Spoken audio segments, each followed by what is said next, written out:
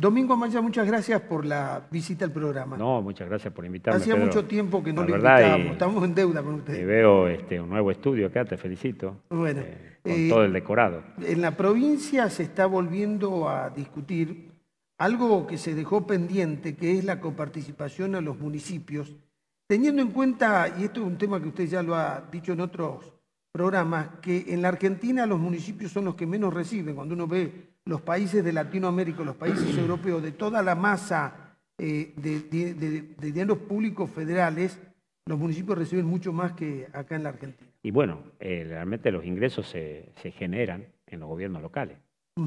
Es decir, este, y los gobiernos locales en, el- en la cadena esta institucional o administrativa, en la Argentina somos los más débiles, es decir, fueron los más débiles, siempre lo- los gobiernos locales son los más débiles. Es aquí que cuando fui intendente m- siempre peleábamos en este, en el buen sentido, lo entendamos bien, para que sea aumentada la coparticipación como lo logró Brasil. Pero esa coparticipación que logró Brasil, del 6 al 12%, fue ese porcentaje adicional, era directamente para que los gobiernos locales inviertan en bienes de capital.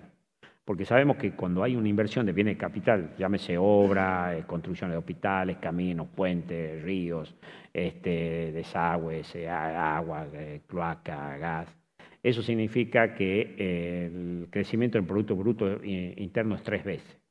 Pero si esa plata va a gastos corrientes, como sucede hoy, acá en la mayoría de los gobiernos locales y en la misma provincia, este, el crecimiento en el Producto Bruto Interno no llega al 0,50. Es decir, que esto creo que una vez por todas, ¿por qué nosotros como Tucumán estamos tan atrasados y por qué tenemos el índice de desempleo y la pobreza que tenemos? Porque no hay inversiones de bienes capital. ¿Y a qué se debe? Que no tienen proyectos ejecutivos. Es decir, hoy, ¿cómo es posible que teniendo una de las máximas autoridades en el país, que es el jefe de gabinete tucumano, eh, y que de quién depende el presupuesto nacional, porque como no fue aprobado el presupuesto, quien asigna el presupuesto es el jefe, y Tucumán este, no se lo ve eh, eh, en obras como tenemos otras provincias, como Santiago, como Catamarca, Esta es la provincia que más pobres tiene dentro del NOA. ¿eh? Y siendo la más rica. Siendo la más rica, una tragedia social. Pero además de eso, uno observa que se destruyó empleo privado y creció el empleo público. Y así como estamos, mm, este no es el camino correcto. Y es donde nosotros tenemos que motivar al sector privado para la inversión. Eso es lo que tenemos que estar haciendo. Un gobernante lo que tiene que estar haciendo es eso. Es decir, yo leo lo que pasa en Catamarca.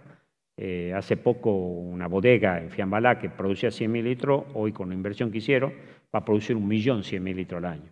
Se instaló un hotel de cinco estrellas, ahora se instala una bodega muy conocida, reconocida mundialmente, que es Mendocina, que es uno de los mejores vinos del país, se instala también ahí en ese lugar. Es decir, que todo eso es generación de empleo, más todo el desarrollo minero que hay del litio, bueno, bienvenido sea.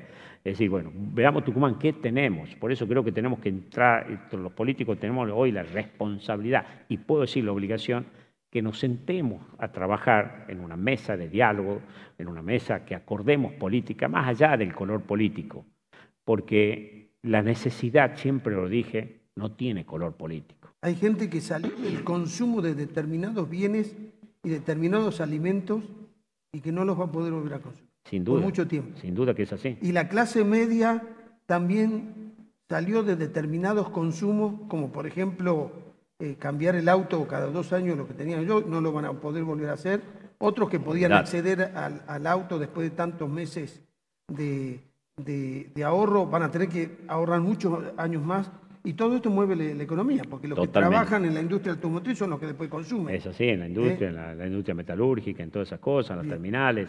Sinceramente, creo, Pedro, que es un tema muy serio que estamos viviendo. Eh, Argentina tiene todo el potencial, como digo, Argentina no tiene los billetes dólares en la mano, lo tiene en el bajo tierra, lo tiene en la energía, en el petróleo, en el gas, en la mineralogía, en nuestra agricultura. Ahí está nuestro petróleo, ¿verdad? Es decir, A ver. nuestros dólares. No debe haber país en el mundo que tenga la cordillera que tiene la Argentina con la riqueza que tiene, que tenga los mares que tiene la Argentina, que tenga vaca muerta y que tenga el litio. Esto no lo tiene cualquier país del No mundo. lo tiene cualquier país. A ver, y ese es el si- tema. Si no aprovechamos esto, es un problema de la política. Totalmente, ¿eh? Pedro. No es un problema de... Y no es de este gobierno, de varios gobiernos De que vienen por atrás, así que no hubo una decisión política. Bien. Imagínate si fuera otro país, vamos a decir Alemania, que es un país que ejecute y que va adelante, ya tendríamos un, ferrocarril que va de Vaca Muerta al puerto de Vía Blanca para estar exportando y que nos lluevan los dólares y que, este, que haya deflación, sinceramente, como pasa en otros países, que el dólar baja en vez de, aumentar el valor como es acá. Domingo, cualquiera nos podría decir, bueno, cualquier país europeo no nos podemos comparar. Eh, hay algunos países latinoamericanos que también lo harían. No sé si Chile y Uruguay no lo harían, pero además vamos a la historia. Los incas, que fue un imperio que tenía dos millones de metros cuadrados, tenían eh, eh, comunicación, los caminos de ellos habían hecho 300.000 kilómetros. Había, sabían muy bien aprovechar las riquezas naturales, las potencialidades. Los incas hemos desaprendido, lo que hicieron hace 5.000 años los habitantes de territorio. Así es. Eso me da vergüenza. No me da vergüenza compararme con los europeos. Me da vergüenza cuando veo el, eh, el imperio azteca, el imperio maya y el imperio eh, inca. Lo que hicieron esas personas sin tener lo que nosotros tenemos. Así es, es lamentable de que no tomemos conciencia y que dejemos las mezquindades políticas y las peleas que no sirven para nada.